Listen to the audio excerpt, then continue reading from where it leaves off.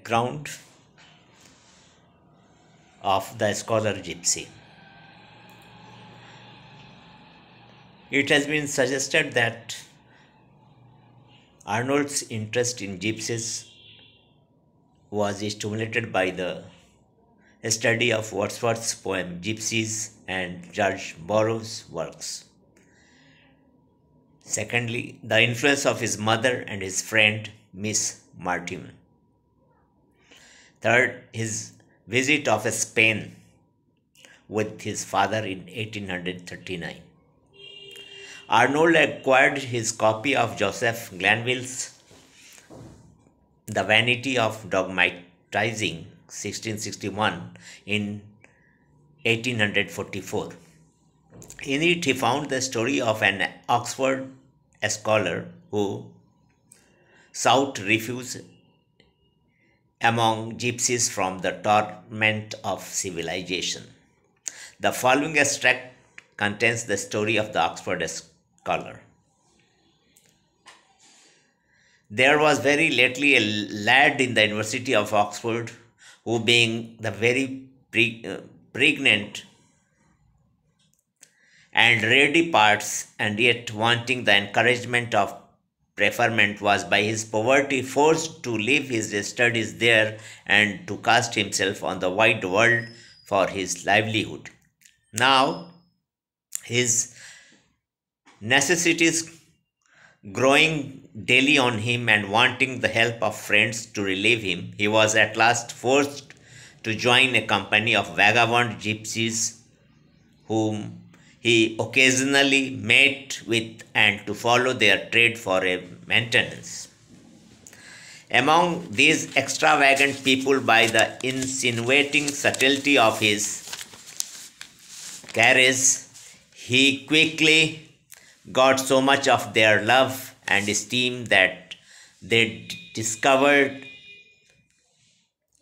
to him their mystery in the practice of which by the pregnancy of his wits and parts he grew so good and proficient as to be able to do his in- instructors. After he had been a pretty while while well exercised in the trade, there chanced to write by a group of scholars who had formerly been his acquaintance. The scholar had quickly spied out their old friends among the gypsies, and their amazement to see him in the in such a society had well high discovered him. But by a sign he prevented their own their owning him before that crew, and talking one of them aside privately, desired him with his friend to go and in not for distant distance, promising there to come to them. They accordingly went thither he followed. After their first salutations, his friends inquired how he came to lead so odd a life that was and to join with such a cheating beggarly company.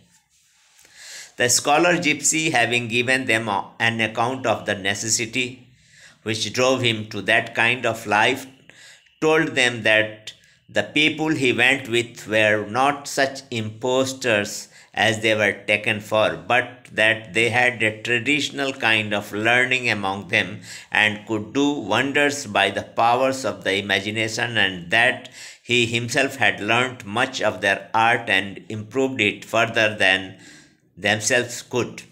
And to evince the truth of what he told them, he said he would remove to another room, leaving them to discourse together, and upon their return tell them the sum of what they had talked of, which accordingly he performed, giving them a full account of what had passed between them in his absence.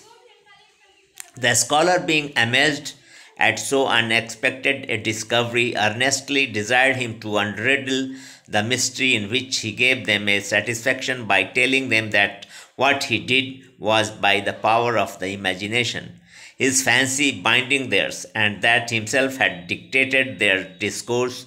They held together while he was away from them, that there were warrantable ways of heightening the imagination to that pitch as to bind another, and that when he had encompassed the whole secret, some parts of which he said he was yet ignorant, he intended to leave their company and give the world an account of what he learned. It is interesting to study Arnold's use of his materials. The hero of the scholar gypsy is modeled on Glanvill's Oxford scholar, and so he is nothing if not a wanderer, but he is not a mere wanderer. He is a simple, he is a symbol of perennial youth. The conception of the scholar gypsy's immortality is also Arnoldian. It has nothing to do with Glanvill. Again, in the Arnold's poem, the supernatural element has been reduced to a minimum. There is very little in it about the science of mesmerism.